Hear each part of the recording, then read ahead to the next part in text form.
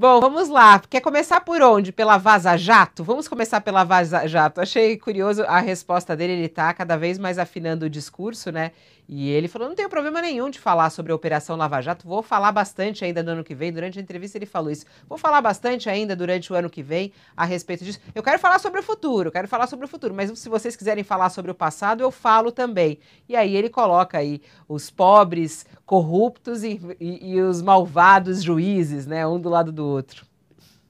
Um contra o outro. Então, porque o, o, o ex-ministro juiz Sérgio Moro, ele tem evitado né, falar da, da questão da Vaza Jato, ele sai daqui e dali, mas não tem jeito, porque vai ser um dos temas da sua pré-campanha eleitoral. Afinal de contas, para uma pessoa que, se, que diz que vai é, defender a lei, ele precisa provar de que não havia desrespeitado a lei. Contudo, o vazamento das conversas, né, as conversas é, entre procuradores da Operação Lava Jato e o próprio Moro, que foram divulgados pelo site da Intercept por outros órgãos de imprensa, mostram o contrário. Ele fala, não tem nada lá que mostre. Imagina, você tem o, o ministro, o, o então juiz Sérgio Moro, combinando com procuradores questões que, se fossem claras, deveriam ser feitas a céu aberto.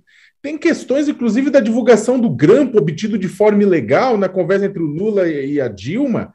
Tem muita coisa lá que, é, se tivesse sido divulgado no momento em que aconteceu, logo depois que aconteceu, tinha colocado abaixo a própria Lava Jato e teria é, provavelmente impedido a prisão de Lula e mudado o rumo das eleições de 2018, potencialmente. A gente nunca sabe o que poderia ter acontecido se Lula tivesse concorrido, mas ele estava na frente.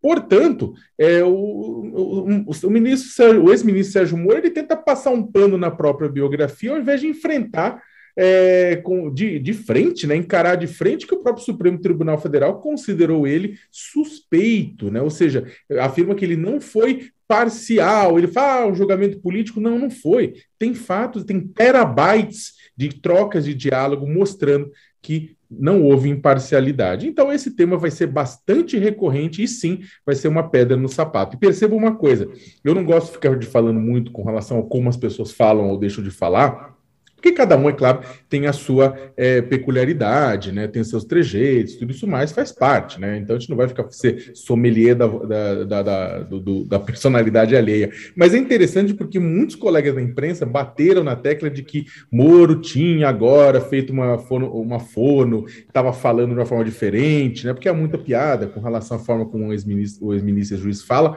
Só que é engraçado que quando ele vai ler o teleprompter, quando ele vai ler um texto é, pronto, tá lá, realmente, ele mudou mudou muito a forma de falar. Agora, quando ele é pego na, no contrapé, tem que responder no quente, no quebra-queixo, numa entrevista, ele continua o velho Moro de sempre. Mas não é fácil também, né? Vamos combinar que encarar os jornalistas ali fazendo perguntas não é fácil. A pessoa fica toda assim, né?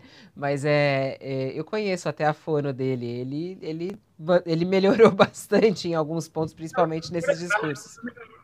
A leitura melhorou bastante mesmo. O teleprompter ele tá, ele tá mais afinadão. Só que ele precisa, acho que agora pegar, acho que não é nem culpa da fono. A fono dá o caminho. Não é só fono, né?